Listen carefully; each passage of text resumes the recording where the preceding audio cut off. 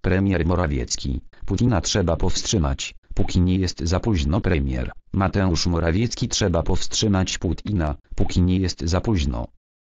Historia uczy, że prezydenta Rosji Władimira Putina trzeba powstrzymać, póki nie jest za późno, podkreślił premier Mateusz Morawiecki.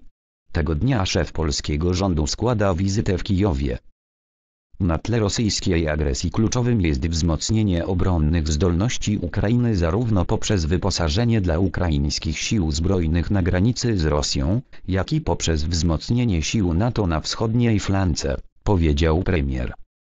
Pokój i wojna dotyczą nas wszystkich. Więc wszyscy powinniśmy być pełni zdecydowania, by przeciwdziałać rosyjskiej agresji, dodał premier, odnosząc się do różnic, jakie występują w krajach Unia Europejska. Nawet jeśli obywatele Unia Europejska nie zobaczą wojny w swoim kraju, na pewno odczują efekt zwrotny, destabilizację, poczucie zagrożenia, zerwane handlowe, kulturalne, społeczne kontakty. Nie jest tak, że Unia Europejska może nie reagować, bo sprawa jej nie dotyczy, zaznaczył. W obliczu zagrożenia ze strony Rosji cała Europa potrzebuje solidarności, zdecydowania i pełnej współpracy, oświadczył premier w rozmowie z ukraińskim portalem lb.ua. Jak dodał, już w listopadzie przeprowadził około 10 wizyt zagranicznych, by rozmawiać o wspólnej polityce wobec Rosji i Białorusi. Morawiecki zaznaczył, że to nie tylko problem bezpieczeństwa dla Ukrainy, ale też wyzwanie dla całego kontynentu, w szczególności dla Europy Środkowej i Wschodniej. Polacy i Ukraińcy mają długą wspólną historię, wypełnioną bolesnymi momentami.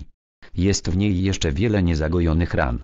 Tej historii nie można zapominać, a dobre stosunki możemy budować tylko na prawdzie historycznej, oznajmił szef rządu. Tysiące zabitych na Wołyniu Polaków do tej pory nie mają grobów. To wciąż nierozwiązana kwestia.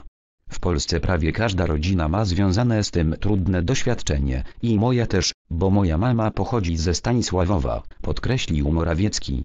Ta dyskusja nie może być przedmiotem żadnych politycznych negocjacji, prawda ma zwyciężyć. Ale bez względu na trudną przeszłość, przed nami wspólna przyszłość, dodał. Premier ocenił, że obecnie na tle rosyjskiej agresji kluczowym jest wzmocnienie obronnych zdolności Ukrainy zarówno poprzez wyposażenie dla ukraińskich sił zbrojnych na granicy z Rosją, jak i poprzez wzmocnienie sił NATO na wschodniej flance. Na razie te działania odbywają się chaotycznie, podczas gdy potrzebna jest jedność i jednoznaczne ruchy, oświadczył. Morawiecki wskazał, że Unia Europejska już dziś ma przedstawić Putinowi plan sankcji, które czekają Rosję, jeśli spróbuje naruszyć granicę ukraińską. Władimir Putin powinien wiedzieć, że jakakolwiek próba rozpoczęcia wojny przyniesie Rosji gospodarczą katastrofę, oznajmił. Pokój i wojna dotyczą nas wszystkich więc wszyscy powinniśmy być pełni zdecydowania, by przeciwdziałać rosyjskiej agresji, kontynuował polski premier, odnosząc się do różnic, jakie występują w krajach Unia Europejska. W jego opinii Niemcy działają dziś zbyt miękko i rozczarowują. Motywy takiego stanowiska są mniej ważne. Jednak ważne znaczenie mają skutki tego niezdecydowania. Niepokoją Europę i już czas naprawić to pasywne stanowisko, podkreślił. Morawiecki ocenił, że w otwartym konflikcie wszyscy poniesiemy straty. Nawet jeśli obywatele Unia Europejska nie zobaczą wojny w swoim kraju, na pewno odczują efekt zwrotny, destabilizację, poczucie zagrożenia, zerwane handlowe, kulturalne, społeczne kontakty. Nie jest tak, że Unia Europejska może nie reagować, bo sprawa jej nie dotyczy, zauważył. Ocenił też, że podczas gdy stanowisko Niemiec wobec Ukrainy jest wielkim rozczarowaniem, to ich udział w budowie NS2 jest wielką pomyłką, za którą, według premiera, zapłaci cała Europa. W opinii Morawieckiego uruchomienie Nord Stream 2 na długie lata przekreśli próby budowy wolnego rynku gazu w Europie. NS2 to instrument szantażu, mający na celu destabilizację Ukrainy i regionu, ocenił. Wskazał, że nie ma jednej odpowiedzi na pytanie o motywy obecnej polityki Berlina. Gospodarcze interesy są zawsze ważnym argumentem, ale tym razem nie sądzę, że będzie on wystarczający. Możliwe, że ostrożność niemieckiej polityki wynika z historycznych strachów i szczególnej roli Niemiec w europejskiej polityce po II wojnie światowej, kontynuował szef polskiego rządu. Ale jeśli historia ma co powiedzieć, to mówi tak, Władimira Putina trzeba powstrzymać, dopóki nie jest za późno. I do tego będę wzywać kanclerza Niemiec Olafa Scholza. Niemcy powinny wziąć na siebie większą odpowiedzialność za bezpieczeństwo w Europie, powiedział Morawiecki. Premier dodał, że wierzy, iż Moskwa opamięta się i nie rozpocznie nowej wojny w Europie. Ale jeśli będzie inaczej, drzwi do Polski będą otwarte, zapewnił. To nie jest nowa sytuacja. Po rosyjskiej agresji na wschodzie Ukrainy w 2014 roku tysiące ukraińskich rodzin przyjechały do Polski, wskazał. Jak dodał, szacuje się, że obecnie w Polsce przebywa do 1,5 milionów ukraińskich obywateli. Znaleźli swoje miejsce w polskim społeczeństwie. Tu pracują i wychowują dzieci. Ukraińcy są mile widziani w Polsce, podkreślił Morawiecki. Polski premier zaznaczył, że trudno jest ocenić skutki pełnowymiarowej agresji. Ale jedno nie budzi wątpliwości, rozpatrujemy bezpieczeństwo Ukrainy i jej suwerenny rozwój jako warunek konieczny do zagwarantowania pokoju w całej Europie, oświadczył.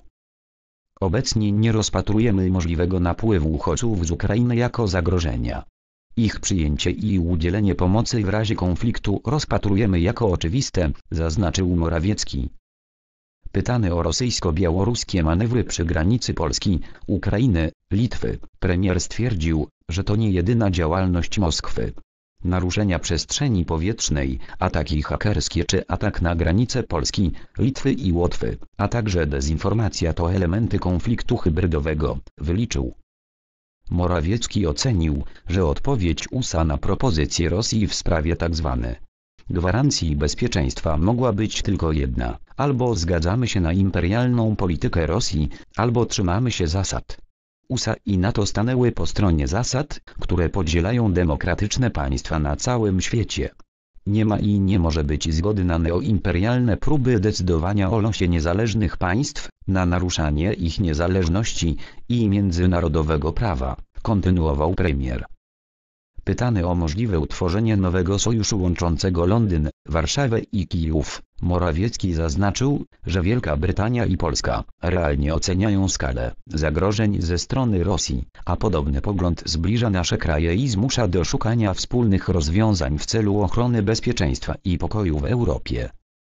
W rozmowie poruszono też temat blokady tranzytu kolejowego przez Ukrainę do Polski. Premier ocenił, że blokada stawia Ukrainę w niekorzystnej pozycji, w grze o przewozy kontenerowe między Chinami i Unia Europejska, bo w biznesie bardzo ważne są przewidywalność i zaufanie. Zaznaczył, że liczba pozwoleń dla ciężarówek ukraińskich to sprawa otwarta, ale na początku rząd Ukrainy ma zająć się stosunkiem do polskich kierowców na Ukrainie, który, mówiąc łagodnie, jest niesprawiedliwy. Szybkie rozwiązanie tej sytuacji jest w naszych wspólnych interesach, oznajmił Morawiecki.